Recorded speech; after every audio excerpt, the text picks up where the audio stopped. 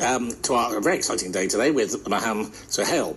And um, I have to say, so this is this is um, you know this is showing my prejudice. So I, I actually wouldn't expect a young lady from Pakistan to be so have such a diverse and open, maybe a good word to use, open view on the world and music as you do.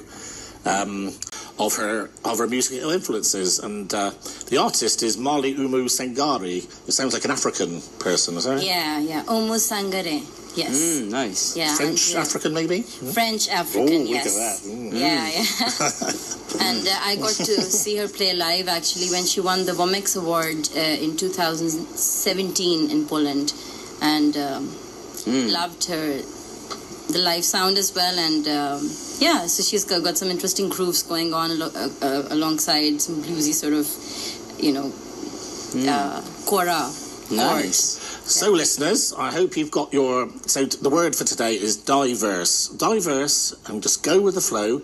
Great music is great music, doesn't matter where it comes from. Sound of Runners the Sun by Shearwater. Um, and next, so Mah- Maham was telling us earlier about how. Um, how she felt like she was really spiritually at home when she's in the mountains. Uh, and it's something I can totally relate to because um, I remember when I went to the Highlands of Scotland for the first time, and also my father comes from the Isle of Man, um, which is an island in between all of the nations of Great Britain. And I have to say, of all the places I've ever been in the United Kingdom, my soul feels the happiest in the Highlands of Scotland. So, uh, so we, Yeah. we share something there. Yeah. So, so this song is dedicated to Maham and is by um, a woman I would like to think must have influenced you a bit. So it's Kate Bush. Yeah.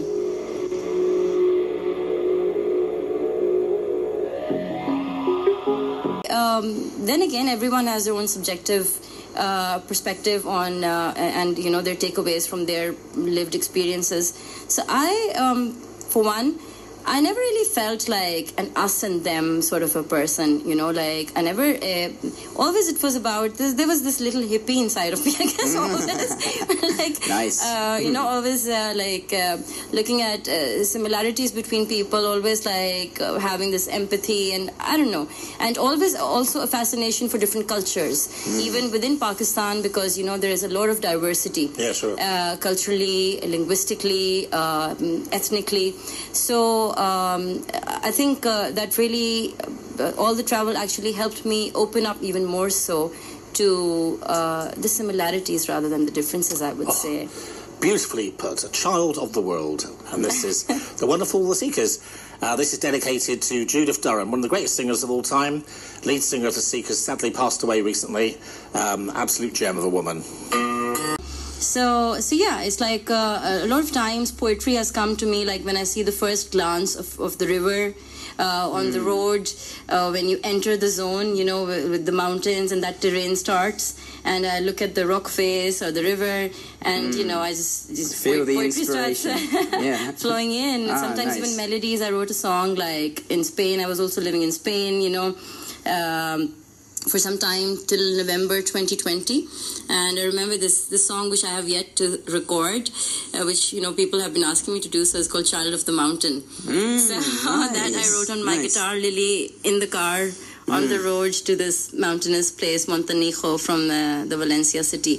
So that kind of stuff, you know, and um, Inspired Yeah. by nature. Right, Drew. So um, you're going to take out one of the songs we were going to play. And Okay. you're going to play Kate Bush's King of the Mountain in a minute for me. King of the Mountain. And we'll okay. dedicate it to Maham. And next we have Pulp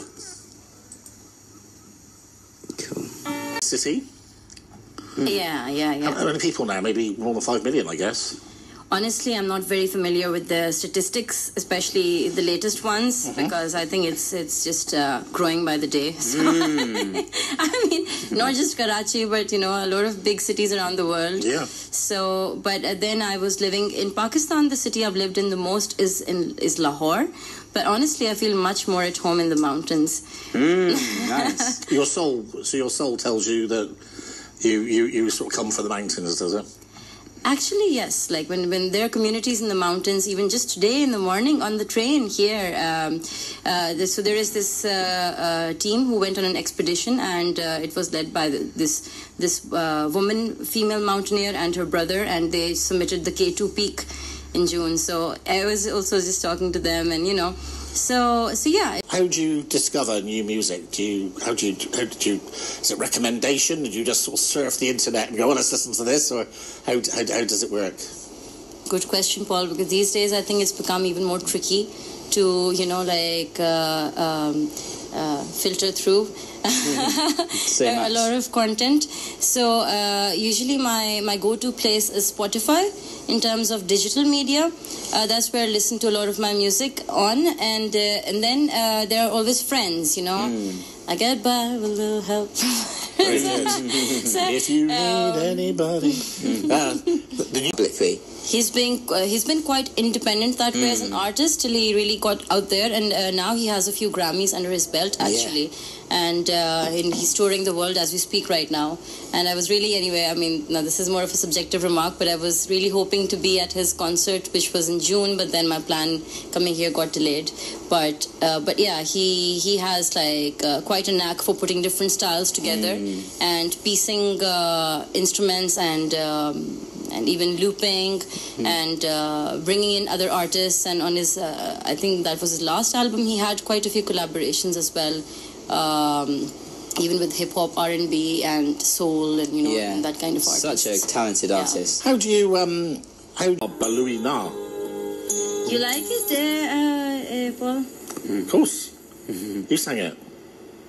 yeah i'm you? singing it and um, okay this has a whole story behind it it's an ep of five songs actually four provinces from the four languages from the mountains and So- um, Oh, sorry, to cut, cut across my wonderful guest here.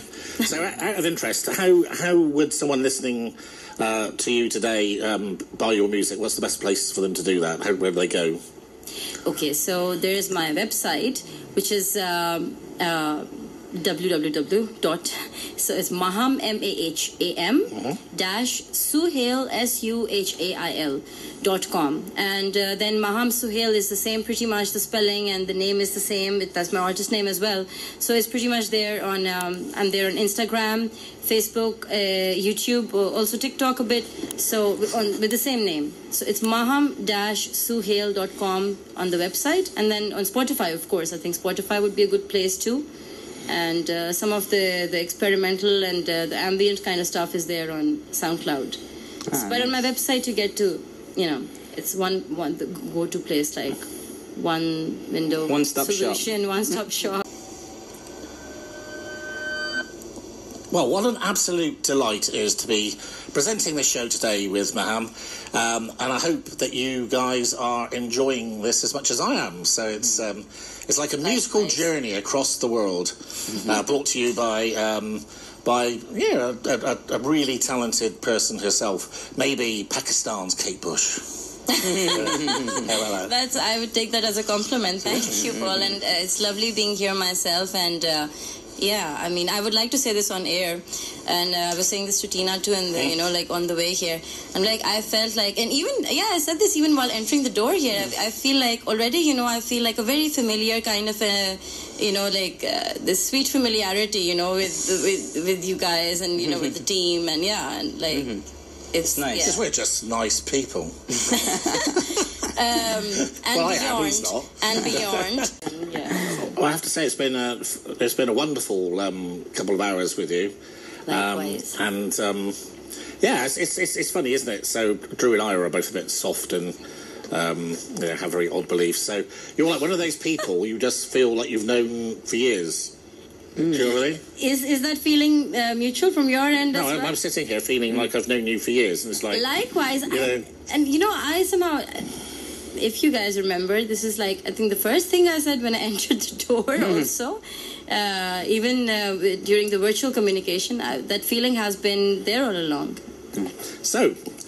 Big, th- big thank you to Maham. Thank you as always to Drew. Thank you, sir. Um, so we're playing out with Desert Winds, And for those of you, um, so, so this is a bit of a bonus. We're going to carry on recording with Maham and putting out on YouTube. So it's not necessarily the end of this. Um, and I think we'll be talking to Maham again, who's become a friend. Have a great week. Sweet. I don't know. See you tomorrow, of course. Bye.